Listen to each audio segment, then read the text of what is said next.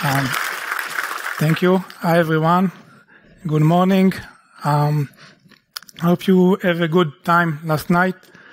Um, this is my first time in uh, Insomniac and in Switzerland, so I'm a little bit uh, excited. And by, before I will start, I just want to know how many of you use Docker? Oh, nice. Because like four years ago, it wasn't like that. And how many of you use Docker for Windows? Okay, less. So one year ago, something like this, my manager uh, asked me to do a, a, research about Windows containers. And I told him uh, why no one is using it. So he told me this is why we, we are paying you for. So I did the research. And in this research, actually, this wasn't the main research because I needed to use Docker to, to run the Windows containers. And while I did so, we found a number of issues um, that I think you should be aware of when you are using Docker for Windows. So uh, a little bit about myself. My name is Evyatar Gerzi. I'm a security researcher at uh, CyberArk. Before CyberArk, I worked on uh, mostly on uh, Windows uh, research. And today my main focus is on um, DevOps security, Kubernetes, containers, things like that. And today we are going to speak first thing a little bit about container, Docker, and name pipes. Then we will uh, speak about some vulnerable undocumented API inside a specific name pipe. Later, we will show the vulnerabilities that we found and the exploitation process. And lastly, we will do some summary of the things. So um, let's start. So before, uh, I don't know how, many of you know, but um, um, uh, before, like before explaining what is container, uh, I want to talk about the history. Container is not new thing. It was in 1979. If you if you're familiar with the uh, term churut, so it was back then. And over the years were a couple of uh, companies that made some implementation of containers. And the, um, I think uh, the was more popular in 2008. And in 2013, Docker came up with a nice system to run containers uh, quite easily and in a friendly way. And it uh, became very popular, mostly on Linux. And in 2016, actually it was 2015 in Ignite where Microsoft introduced the Windows containers. So today you can run Windows containers and Linux containers on a Windows system.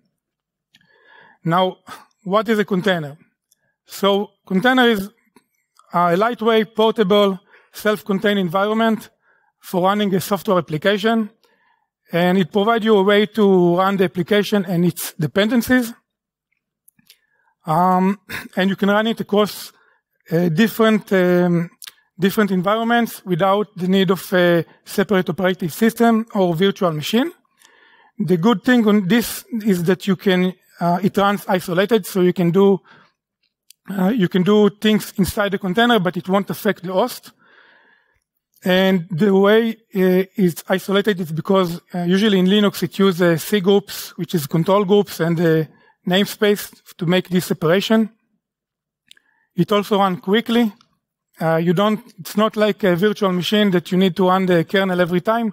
So you run, you run it, uh, and it uses the kernel resources. So this is the reason for it, for why it runs quickly and reliably because the container uh, has all the dependencies and everything inside it. So if you compile your application inside the container, you can send it to your friend and it will, uh, you, it will run probably in most of the cases without any issues, without any li ex external library that he need to, he needs to install. So, um, uh, like I said, in 2015, Microsoft uh, introduced the they cooperate with Docker to make uh, Windows containers in Windows host. And they call it uh, Docker Desktop. This is why uh, when I started research, I needed to install Docker Desktop and work with it. And when I installed it, I noticed that there are lots of processes in the system. And two of them were um, very interesting. There was, was the Docker D, which is the Docker daemon uh, also from Linux. They only gave support to, to Windows. This is an open source. But the new thing was a new service called uh, COM Docker service, which is uh, unique to Windows, of course.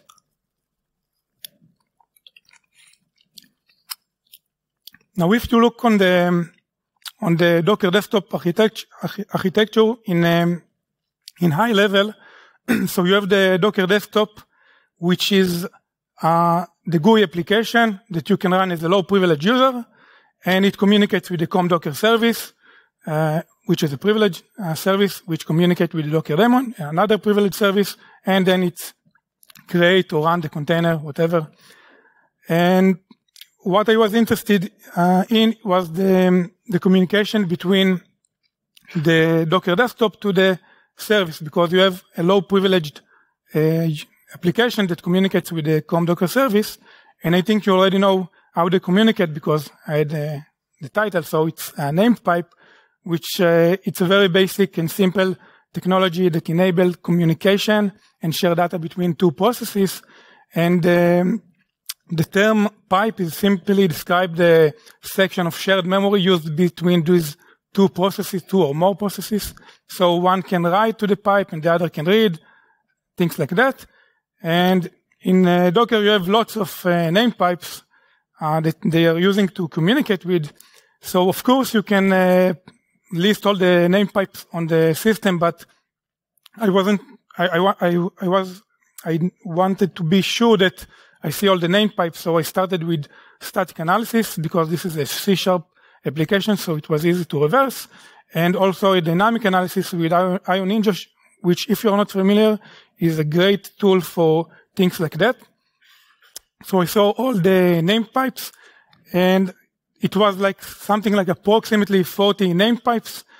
And this is only part, a, a small part of the list in the blog post that we uh, published. There is a, a, all the full list, and one of them was very interesting. It was the the name pipe of the com Docker service, which, by the way, uh, there is another name pipe which they uh, it's called the same uh, name but with debug. Uh, I didn't check it yet, but um, this is the one that was running. And when we did this research, I thought it also can be a good thing to make a, a new tool called the pipe viewer, that can list me all the name pipes and can show me all the details on the name pipes. By the way, it's uh, it's based on the work from uh, James Forshaw.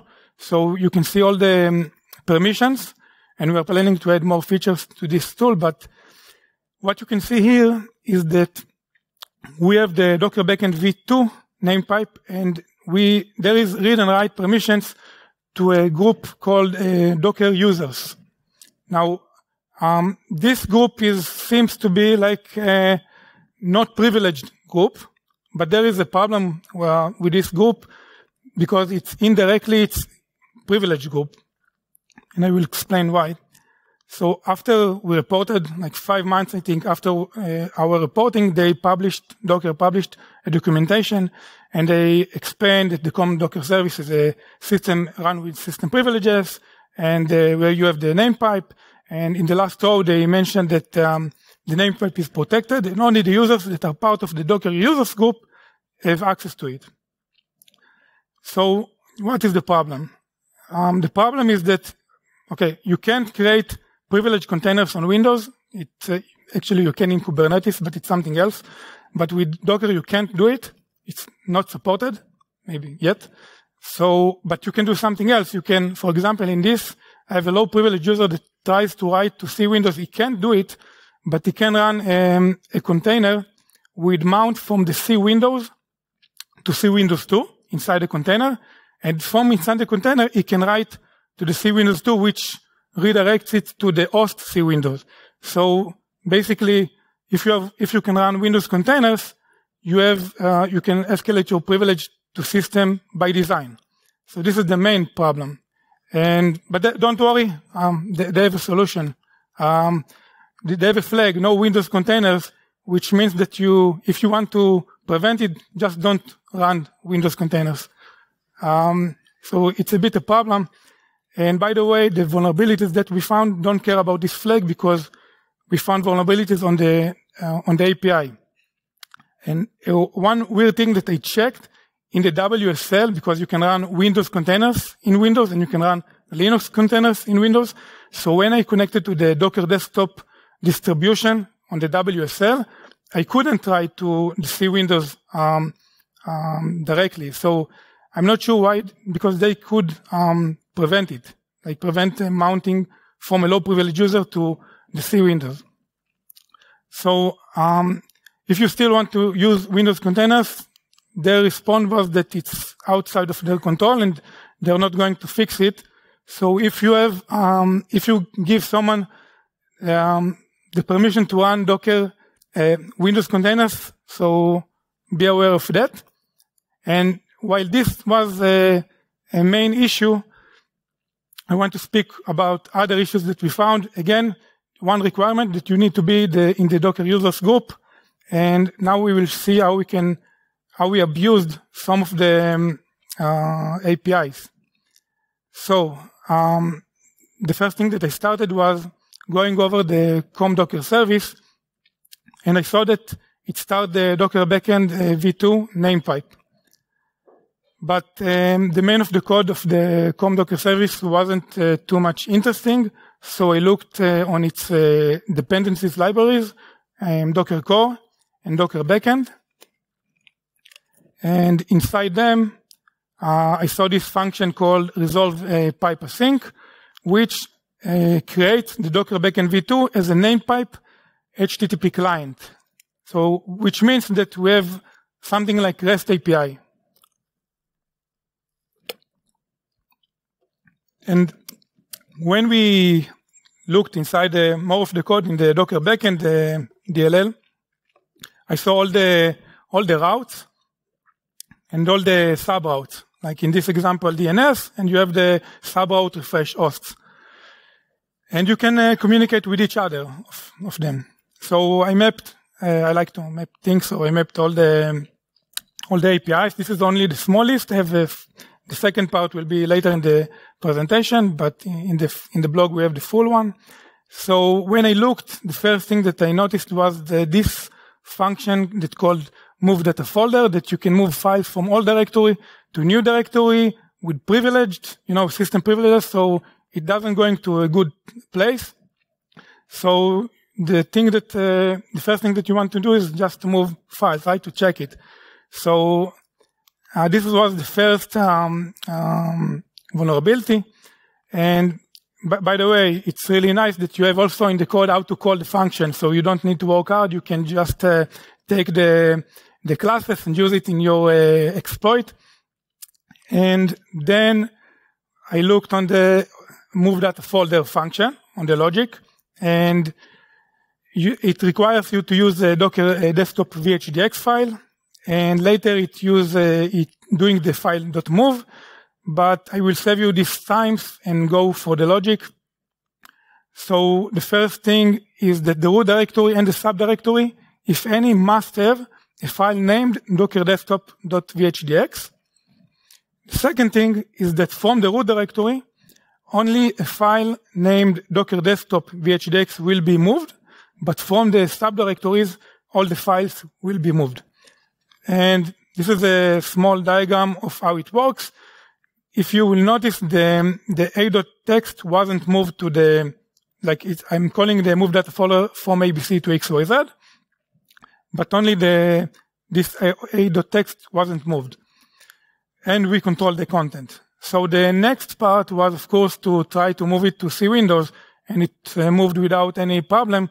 Not just that, that we have uh, full permissions on the file, uh, delete, rename. And by the way, if you are interested in why we had permission and why didn't inherit the permissions from the C Windows, it's because um, Microsoft have, they have some exception when you move files, when you move a, an object to a different folder on the same volume. So the original permissions retained, and you can read more about it. So we have a file that we can move to a protected place. So my plan was uh, make some DLL hijack with the known spooler DLL hijack uh, UAL API. And uh, so the only thing that I needed to do is to change the name, of course, but um, you can change the name inside the protected uh, path uh, because of the Windows file protection. So after uh, thinking about it uh, a little bit, um, if you're familiar with another, by the way, it's amazing work of James Forshaw, uh, Symlink, which still work in Windows 11. Um, so you can use this technique to uh, change the name. And how it works is like that. I'm calling the move data folder from ABC to some temp jumper, and the ABC contains my malicious DLL file in the um, wrapped with the name of Docker Desktop VHDX. Then when I will call it, it will go to the jumper, which is a junction folder, which will point to an object manager symlink, which will eventually um, redirect it to the to the name that I want. So great, we have the we can we control the name, the content, the, the place, everything. So we only need now to restart the computer. This is what it required from the uh, spooler uh, to turn uh, the DLL hijack. Um, yes, but um, my question was if we can trigger it without a restart because it's not nice for the POC, you know, to start restart the computer. It's not. So uh, there is a great article by um, Alex Unesco and Yarden Shafir. I really recommend it to read it. Basically, it talks about the idea that a low-privileged user can start some uh, services which run uh, with network service uh, privileges and they showed how they can escalate the privileges from network service to system. So I used uh, their uh, article to do it, and this is what we not not like that. Okay, so this is what this is the full exploit. First thing, I'm running on Windows 11. I'm checking um, the update. It's uh, full update, running the, again. Yeah, the most updated version. In that time, it was a couple of months ago. I will start the CMD. I will show that I don't have permissions, I'm a low privilege user. I will try to write to C Windows, just if you don't believe me. Yeah, access denied. And then I will go to my exploit uh, folder and run the POC, and it's just just doing everything that uh, I spoke about, Symlink and everything. And in the end, it triggered the um, DLL hijack. And then we get the shell and we get the system. So it was really um, like nice to do it. I, I, also verified again right to the to the A just to make sure that uh, you see it works. So anyway, this was the first vulnerability, and the second one was about an object named daemon JSON, and this is uh, another interesting thing. We have two methods, start and stop, that we can start and stop the Docker daemon service. And not only that, we can start the service with the configuration that we want.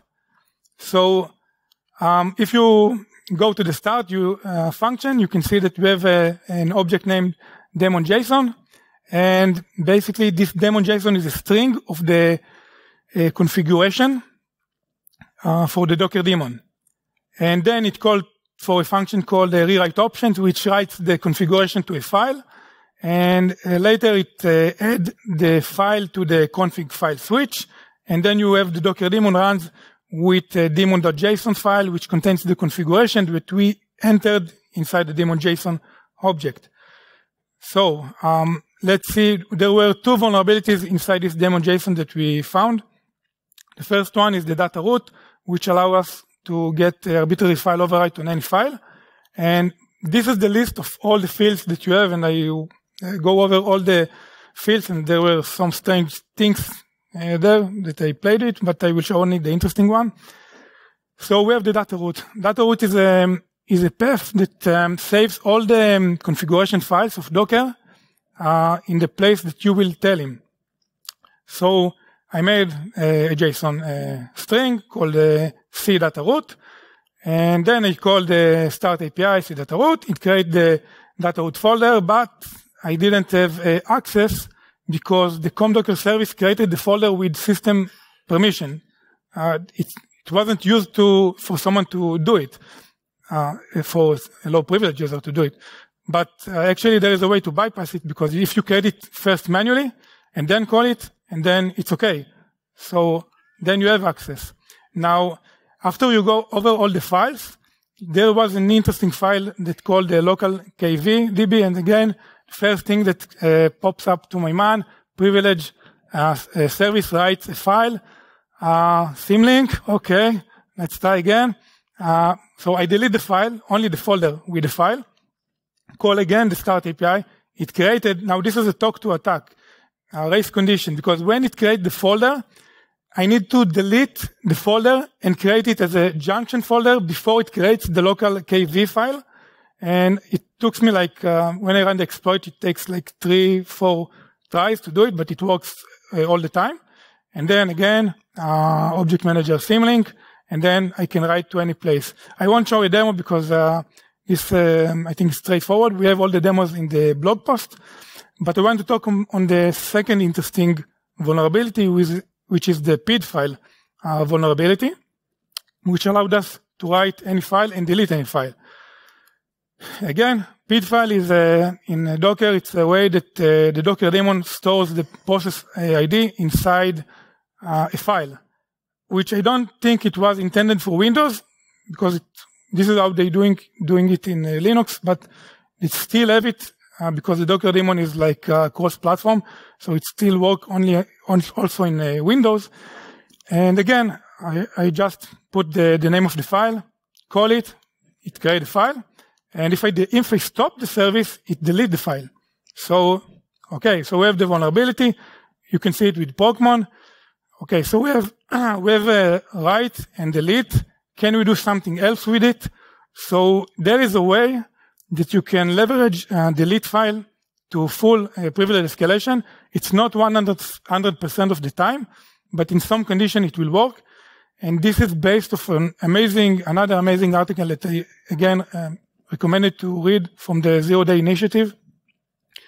Um, that they show uh, how to do it. And there are a couple of requirements. The first thing is that the vulnerable process uh, should call delete file A or delete file W. The second thing is the ability to delete or rename an empty folder called cconfig.msi.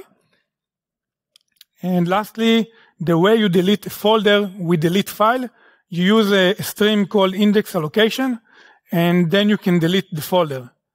And so I checked what if we have uh, all the requirements. And the first thing uh, I saw that we have the we are using the the Docker daemon is using the delete file W, and the idea was to now just to delete the folder and then use the technique that they explained in the uh, article. So I call the start, uh, start for the Docker daemon with this PID file but uh, I had a problem because it tried to create a folder which is already exists. And uh, if you think how to bypass it, yeah, you could right. Uh, again, Symlink. Um, Microsoft should fix it. Um, so we call the start API for a different file, something like uh, temp.txt. We don't care about it. And then we delete it and create it as a junction folder. And then it will, uh, and, and call the stop API because the stop will delete the file and the stop will be redirected to the, to the folder. And by the way, I, it's important to mention, if you will check this config uh, MSI file, uh, usually it might, like, it might be not empty. In most of the cases, there are some, uh, um, I don't, I won't say random files, but there are some uh, RB scripts inside it. I tried to brute force it because I have delete for the file, so I needed to guess the name, but it was not efficient enough. If you find a way, so it's it's great. Uh, but in uh, Windows 11, when in the fresh Windows 11, you don't even have the folder, so it was easier. And anyway, if you delete this file, you create a config file and put your uh, malicious RB script. And then you use the, this is from, by the way, from the, again, from the article, so you can read more about it. They uh, put a malicious uh, HID DLL, and then they use the on-screen keyboard to switch to secure desktop. And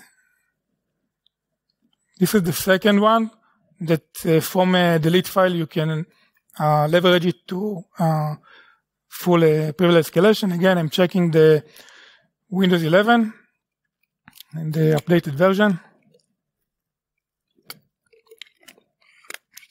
Don't worry, this is the last demo. And uh, again, I? Not privileged. I'm trying to delete the config MSI. I can't. Access denied. Uh, by the way, I, okay, I, I made this uh, because in Windows 10, uh, 11 you don't have the folder, so it was easier. But I wanted to make it more uh, challenging, so I created the one with the access denied. I just show you that if I open the keyboard, nothing happened. Again, going to my exploit uh, folder, run the exploit. It uh, start the service and create the symlink, and later it will uh, delete it and use the exploit based on the uh, zero day, day initiative um, uh, POC. And after that, it should uh, put the HID DLL. Uh, they asked to, they said, yeah, to put, to start the OSK from the secure desktop. And then you have, uh, again, system uh, CMD. So this is another way that you can leverage it from the delete file to full privilege escalation. And lastly, I will talk about, um, this is a quick one because this is again the same issues, but um, we'll talk again, uh, I will talk about them also. So there is another controller called Hyper-V controller. Um, it has a, a, function called create and destroy. So the first one, the create one, you can use it to arbitrary uh, file overwrite. This is how it looks. And it uses, it calls a create or config, uh, configure sync uh, function, which receives a settings object. And this settings object, um, if you will notice, there is a, like the data folder.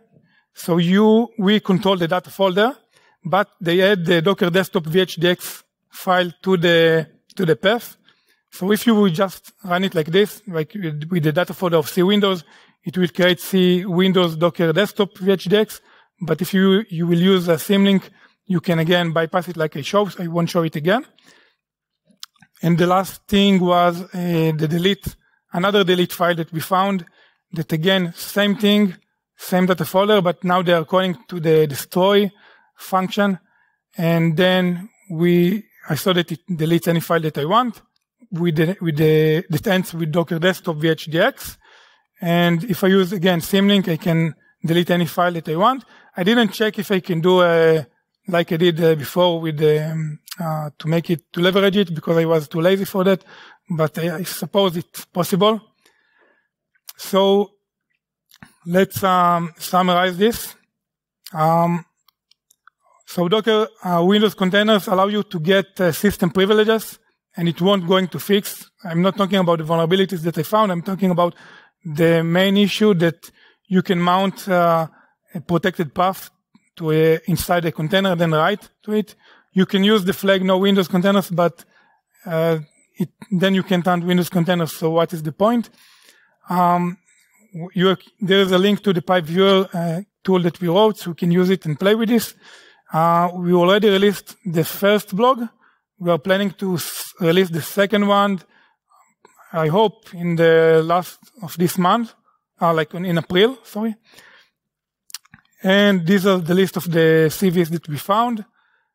These are the references for the Faxel uh, um, article by Yarden and uh, Alex, uh, again, a pipe viewer, zero day initiative and Symlink attacks that you can read more about it. And um, that's it. Uh, so if you have um, question or things like that, feel free to ask now. If, if you are shy, you can uh, later. Okay. Thank you.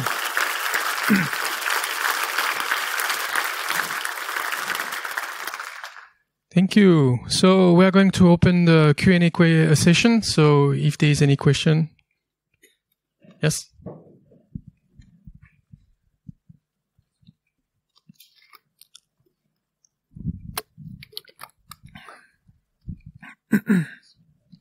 Good morning, everyone. For first of all, thanks for the great presentation. It was really interesting. So, um, I have a question regarding the name pipes. Yeah. did I understand it correctly? The to interact with the pipes, Docker is offering some kind of REST API. Did I get yeah, that right? Yes, correct. Is this a common practice? Um, actually, it's my first time that I see Mhm. someone using NamePipe as a REST API. Um, so I'm not sure if this is a best practice. Um, yeah, like it's a problem because when you saw it, there are lots of things that you can do and play with lots of APIs. So this, the attack surface is so big when you are seeing these things. So I'm not sure it's a good thing.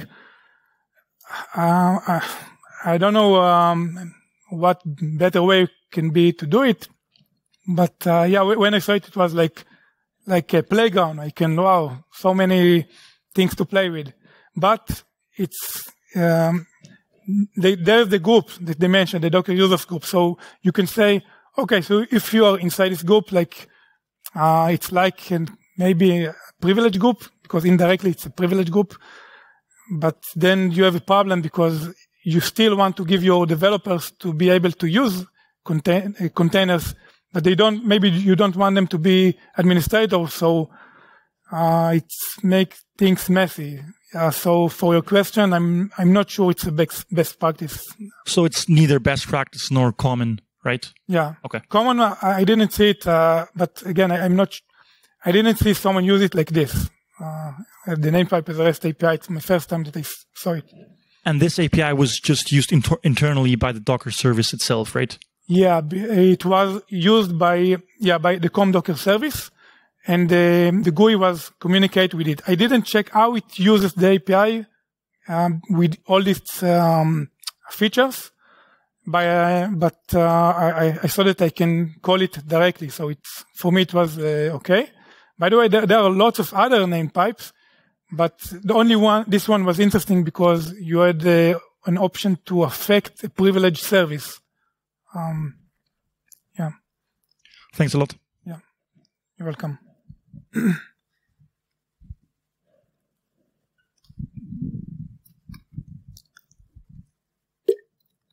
Other question?